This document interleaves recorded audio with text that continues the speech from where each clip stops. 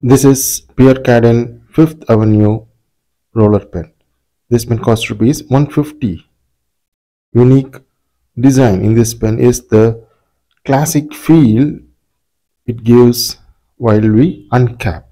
The thread mechanism in early 90s or even the 80s too. Very unique in its design.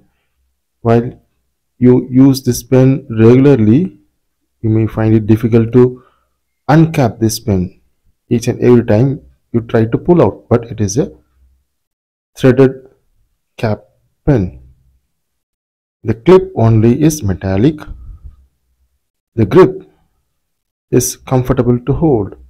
Something unique in its design. Shiny plastic in the grip. Unique design the color comes with different colors in the body.